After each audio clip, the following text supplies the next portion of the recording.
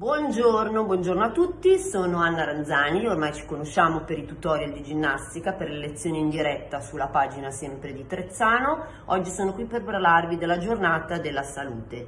Il motto che vi voglio trasmettere in questi giorni è restiamo attivi. Restiamo attivi da tutti i punti di vista.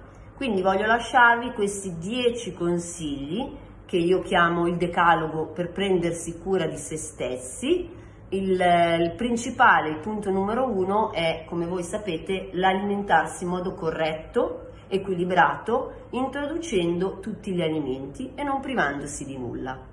Il secondo punto è mantenere il giusto peso, vale a dire non il giusto peso che ci passano magari i mass media che può essere l'eccessiva magrezza, ma il giusto peso per farci stare bene e ritorno a ripetere la parola di oggi, e a mantenerci in salute. Terza, terzo punto, molto importante anche lui, dedicare tempo a se stessi e ai propri hobby. Ricordiamoci che il corpo non deve essere mai staccato dalla mente, vecchio detto, mensana in corpore sano. Quarto, che è il punto che magari approfondisco un po' di più perché è la mia materia, svolgere una moderata attività fisica. Per svolgere una moderata attività fisica voglio aggiungervi soprattutto fare qualcosa che vi piace. Ognuno di noi ha delle preferenze. C'è chi piace magari camminare, c'è chi piace correre, c'è chi piace ballare, c'è chi piace andare in palestra. Eh, la cosa importante è mantenere, che è un'altra parola chiave di oggi che voglio trasmettervi, mantenere la costanza equivale a dire mantenere nella settimana più o meno del tempo per fare attività fisica. Quindi non è la giornata che fa la differenza, cioè se un giorno mi alzo e magari non ho voglia di fare attività fisica ci sta, ci mancherebbe, però se questo perdura per tutto l'arco della settimana il nostro organismo ne risente. Ok, quindi muoversi per prendersi cura di se stessi e non solo e soltanto per dimagrire. Ok? Dobbiamo pensare al movimento fisico come una cura, come una cura che può essere anche la, la classica cura che magari ci viene data dal medico, dobbiamo inserirla nella nostra vita quotidiana. Altra cosa importante è ricordatevi sempre che un altro stratagemma, io parlo di stratagemmi tante volte, è fare le scale. Le scale sono un toccasana, soprattutto in salita perché carichiamo meno sulla colonna. Io lo dico sempre, se avete l'ascensore e abitate al quinto piano, faccio un esempio, magari scendiamo al terzo con l'ascensore, gli ultimi due piani li saliamo a piedi e teniamo in moto il nostro organismo, ok? Teniamo in moto il nostro sistema cardiovascolare e via discorrendo. Vado avanti con gli altri punti giusto per correttezza perché vi ho detto che erano, solo, che erano 10. Il quinto è non eccedere all'esposizione di sole. Sappiamo che il sole fa bene, ma va preso nei modi e nei tempi corretti.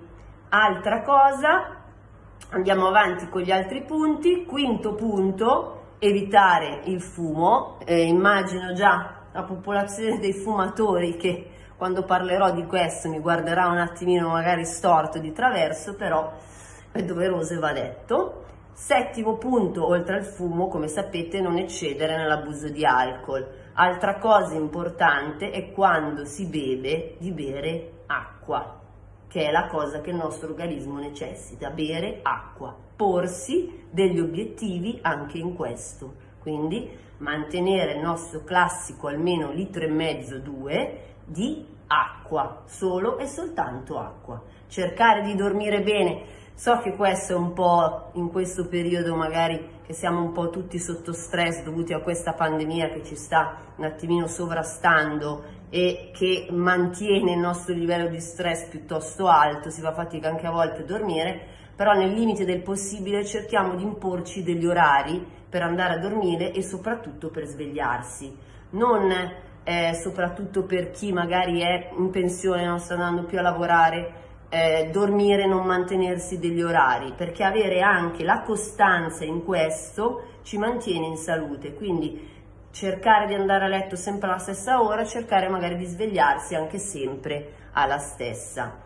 Altra cosa importantissima, ma in questo momento magari è un po' più difficile da mettere in pratica, dare spazio alla socializzazione. Eh, in questo caso magari sfruttiamo un po' di più la tecnologia, abbiamo in mano eh, smartphone, abbiamo in mano eh, PC, sappiamo tutti che ci sono adesso modi, tantissimi modi per poter comunicare e parlare con gli altri, magari sfruttiamoli, facciamo un po' di più chiamate verso gli amici e cerchiamo di mantenere i contatti e di non isolarci.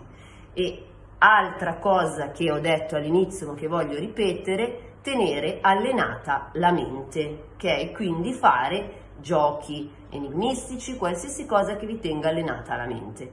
Ok? Concludo ripetendovi le parole chiave di oggi, restiamo attivi,